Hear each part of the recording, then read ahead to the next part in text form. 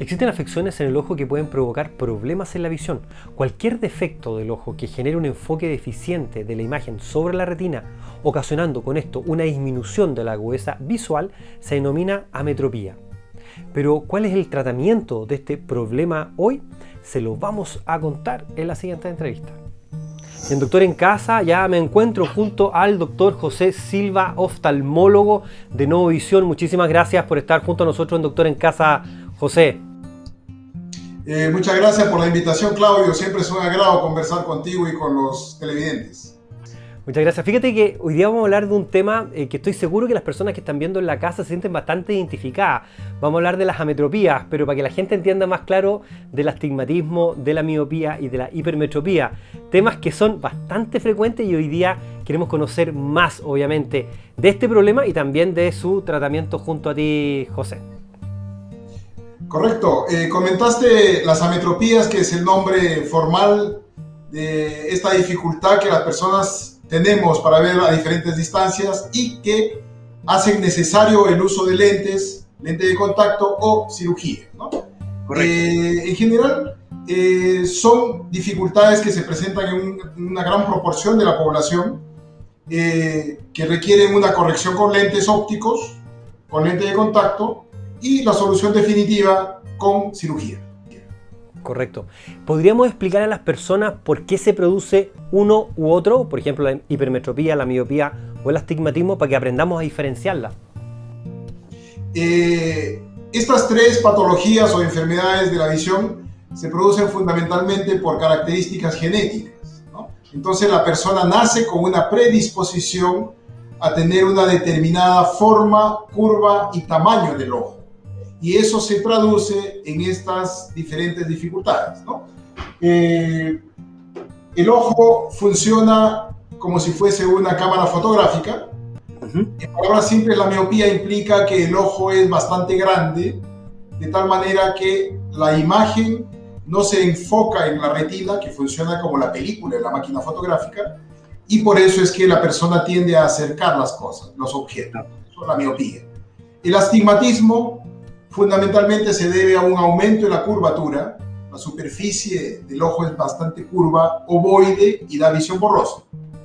Y finalmente, la hipermetropía usualmente se da por un ojo corto, de tal manera que el enfoque tampoco se produce. Eso es, eh, eh, en términos un poquito más, más simples para poder entender. Correcto.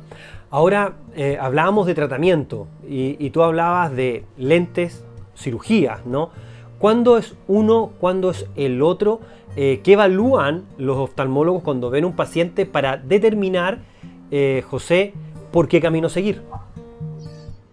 Eh, bueno, al inicio, a, temprana edad, se empieza indicando lentes. se hacen los controles anuales que usualmente la medida de los lentes puede ir cambiando, usualmente va aumentando. Y a partir de los 18 20 años, se puede eh, indicar cirugía siempre y cuando cumplan dos criterios especiales. Ya. En principio, que el paciente tenga la expectativa de liberarse o tener independencia de lentes. Y en segundo lugar, que cumpla estabilidad de la medida, que la medida de lente no aumente y que tenga la edad correspondiente. Con esos criterios se puede indicar o sugerir cirugía. Correcto. ¿Qué pasa? ¿Existen eso es la indicación. ¿Existen algunas contraindicaciones? Sí. Eh, cuando uno eh, plantea la cirugía cumpliéndose estos dos estos criterios iniciales, se solicitan exámenes oculares. Esos exámenes oculares nos van a dar los detalles anatómicos, la lubricación ocular, eh, el grosor de los tejidos, la presión ocular, se hace un examen de la retina, en general se hace un examen completo del si es que el examen completo del ojo está en óptimas condiciones, se puede indicar la cirugía. Si es que esos exámenes me dan alguna información en el que haya alguna alteración, no necesariamente una enfermedad, pero una alteración, se contraindica la cirugía, ¿no? porque son cirugías que buscamos que sean muy, muy seguras y muy precisas. Entonces optamos por escoger los mejores pacientes. Correcto. Ahora, Segunda pregunta, porque hablamos de contraindicaciones que están relacionadas con el globo ocular, ¿no es cierto? Que den absolutas, relativas, etcétera. ¿Qué pasa ahora con comorbilidades? Porque me imagino que muchos pacientes están preguntando, oiga doctor, pucha, mire, yo soy diabético, o yo tengo la hipertensión alta, yo tengo presión alta, por ejemplo, o tengo X enfermedad. ¿Qué pasa con, con enfermedades o comorbilidades? Eh, sí, exactamente. Hay algunas enfermedades asociadas o enfermedades sistémicas que contraindican la cirugía. De las más frecuentes son las enfermedades reumatológicas, artritis reumatoidea, eh, ojo seco, síndrome de Sjögren, eh, lupus eritematoso sistémico, también enfermedades dermatológicas, cuando una persona tiene acné y está tomando unos medicamentos como isotretinoína que contraindican la cirugía, eh, alergia a algunos eh, medicamentos eh, y también un elemento importante es la expectativa demasiado alta del paciente. Si el paciente ah. con el que estoy conversando tiene una expectativa que no es realista respecto a lo que ofrece la cirugía, respecto a lo que podemos ofrecer con la mejor tecnología, es mejor sugerirle que no se opere, porque vamos a tener un paciente insatisfecho. Correcto. Ahora, entrando en ese tema, súper interesante, José, ¿qué, es, ¿cuál es la proyección realista para un paciente que, es miope y que tiene hipermetropía o astigmatismo? ¿Qué, le comunican ustedes para que acerquemos esto a la medicina a la gente que está en la casa? ¿Qué le explican ustedes al paciente? Eh, eh, bueno, eh, haciendo una síntesis un poquito de las expectativas, porque obviamente cada individuo tiene sus muy particulares, pero haciendo una síntesis, se le ofrece una cirugía para que tenga más independencia de lentes. Y eso implica de que eh, si es una persona menor de 40 años, va a tener independencia de lentes, eh, más del 95% de actividades las va a poder hacer sin lentes y eventualmente algunas actividades muy esporádicas como eh, si se dedica a algún hacer con una visión muy, muy, muy de, muchos detalles, eh, si va a manejar auto en las noches con, en autopistas y tiene alguna dificultad, se le podría indicar un lente muy, muy opcional, ¿no? Eh, fundamentalmente eso, es darle independencia de lentes, hacer de que muy eventualmente podría usar un, un anteojo, no se le ofrece un 100% de resultado porque la medicina no ofrece 100%, no solo en esta cirugía, sino en cualquier otra cirugía. ¿no? Tenemos en, esta, en nuestra clínica la mejor tecnología, siempre estamos eh, al avance de, tener las mejores técnicas y las mejores tecnologías, pero la medicina todavía tiene eh, esa, esa, esos resultados. ¿no? Correcto, súper importante el tema de la expectativa. Eh, y lo otro también queríamos preguntarte sobre el tema de la, de la cirugía. Básicamente, en cuanto a eh, los tiempos de recuperación del paciente, cómo, cómo es el postoperatorio del paciente, y un poquito antes de eso se opera un ojo después del otro, ¿cómo, cómo, cómo es el procedimiento? Ya, eh, usualmente se opera en días separados por un tema de seguridad y también de ver el resultado del primer ojo, que puede ser en días consecutivos, ¿no? Eh, y la recuperación es bastante amable, es muy tranquila, porque la gran mayoría de procedimientos son diferentes técnicas hacen de que el paciente en cuestión de dos, tres horas tenga prácticamente ninguna o mínimas molestias.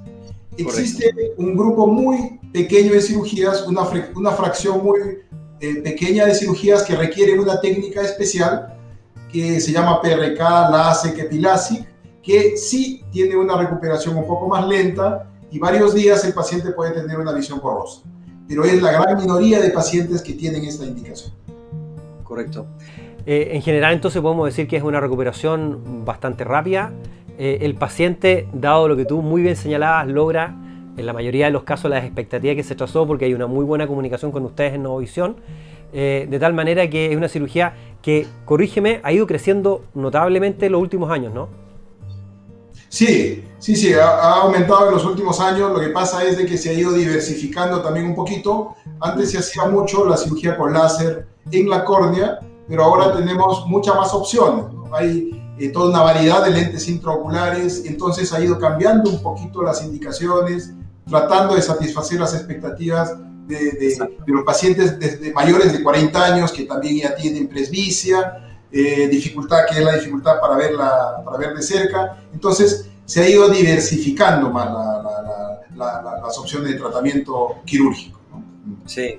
Eh, fíjate que en los minutos que nos quedan, aprovechar de, todo el conocimiento, la experiencia clínica que, que tú tienes, traspasárselo un poquito a aquellas personas que están viendo hoy día el programa, José, y que de repente no, tienen claro esto, ¿no? No tienen como una orientación eh, clara para poder tomar una decisión, ir al oftalmólogo, decir, ¿sabes qué? Quiero cambiar mi vida, quiero a lo mejor sacarme esto, estos anteojos que estoy usando, quiero independizarme, o mis problemas de, visión ya me producen problemas en el trabajo, a la hora de manejar, etcétera, etcétera.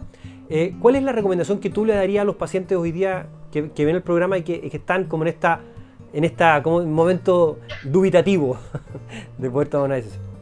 Ya, eh, yo le sugeriría que fundamentalmente tengan una información eh, por medios formales o con un profesional, con un oftalmólogo que tenga experiencia en este tipo de cirugías. Porque cuanto más experiencia uno tiene, uno, lo, uno manifiesta las aprensiones y las dificultades, hasta los problemas eventuales que pueden haber con toda transparencia, de tal manera que se pueda conversar y se minimicen los riesgos. Sí podría sintetizar en que estas cirugías a través de los años se, se, tornan cada vez más precisas, cada vez más seguras, con menos riesgo de complicaciones, los pacientes cada vez más satisfechos. Eh, la tecnología nos acompaña bastante en esto. En Innovación tenemos tecnología eh, muy avanzada, ofrecemos cirugía que puede ser totalmente a láser y todas las otras variedades, ¿no? Y entonces de esa manera eh, decirle al paciente de que eh, le vamos a ofrecer con toda sinceridad para ver si está de acuerdo a su expectativa y realmente va a quedar muy satisfecho. Correcto. Muchísimas gracias, José, por tu tiempo. Sé que estás ahí atendiendo, estás en pabellón. Te diste un tiempo para conversar con nosotros ahí en Novisión. Muchísimas gracias por este tiempo para, para informar y ayudar a aprender. Muchas gracias por haber conversado contigo, Claudio. Muchos saludos a los, a los televidentes. ¿eh? A cuidarse bastante todavía. Chao. Exacto, un abrazo. Muchas gracias. Los invitamos a seguirnos en nuestras redes sociales, Facebook e Instagram y por supuesto invitarlos a ver este segmento y otros tantos más de salud y calidad de vida en nuestro canal de YouTube, Doctor en Casa. Siga junto a nosotros.